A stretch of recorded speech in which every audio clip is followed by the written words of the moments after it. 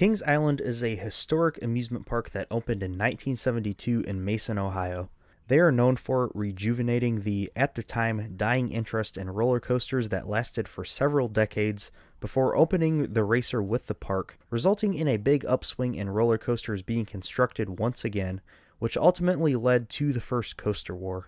I'm going to be analyzing many aspects of this park, which I've had the opportunity to visit on a few occasions, and giving my in depth thoughts on the different facets of Kings Island, what they do great, what's not so great, and maybe some things that could be improved upon.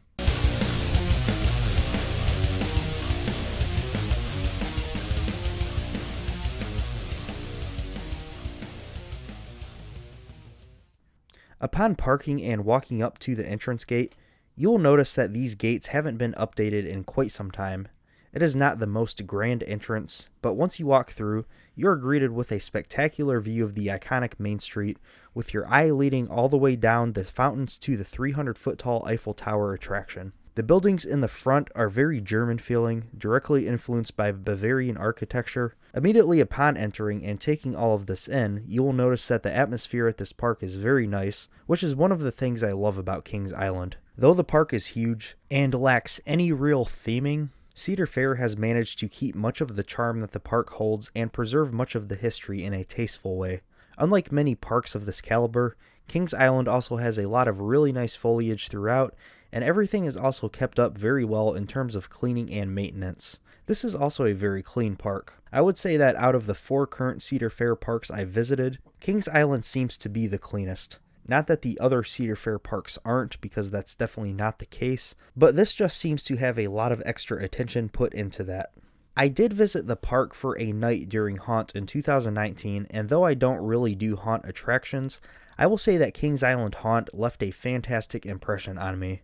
The atmosphere of the park just lends itself so well to a Halloween event like this, and it really draws you into that feeling very well. Definitely much more immersive than something like Halloweekends at Cedar Point, which pales in comparison. During Haunt, Kings Island just takes on a whole new life, it seems, and really becomes a very creepy place. The many trees found throughout the park definitely are an aid to this, as everything is just so dark and really sets the tone, along with all of those fantastic night rides to be found here. But of course, Kings Island is mainly known for one thing the rides. Kings Island, specifically, is home to a huge quantity of roller coasters, 14 as of this review. Of course, they have some really iconic coasters that hold a lot of historical significance to the industry, such as Racer, The Beast, and Flight of Fear, but also many high thrill coasters that have been introduced in more recent years, including Banshee, Diamondback, and Mystic Timbers, along with Orion opening this year. Beyond the coasters, Kings Island has quite a limited selection of thrilling flat rides, though. The only ones being Delirium and Drop Tower, maybe Windseeker as well, if you go by the listing on the park's website. There is also Slingshot and Extreme Skyflyer, though those are upcharge attractions. Another type of ride that this park really does well, though, is family oriented rides as well as kids' rides.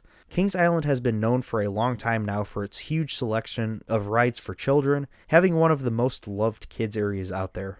This area includes three kids' coasters the Boo Blasters Dark Ride, a Charlie Brown themed log flume, surf dog, and many of your typical spinning kids rides. As far as rides for the whole family, there are many options like Antique Autos, Viking Fury, and Congo Falls, along with common classic flat rides. As you can see, Kings Island really does a lot of great things in terms of rides that all types of audiences can enjoy.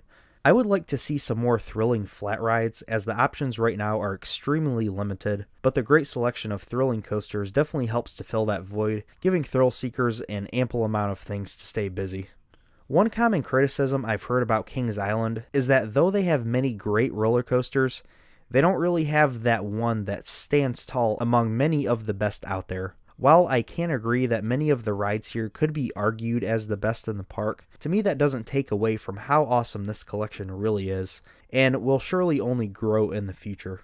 Another thing I also took note of with Kings Island that, in my experience, they did better than many parks was in regards to the staff. During my multiple visits here, I encountered many staff members who were just so caring and ready to help if you had any issues or concerns. I actually had quite an awful situation to deal with when I visited closing weekend in 2019, and I went to guest services, and the staff here were especially understanding and ready to try to help me resolve this particular emergency as quick as possible. Major kudos to guest services at Kings Island.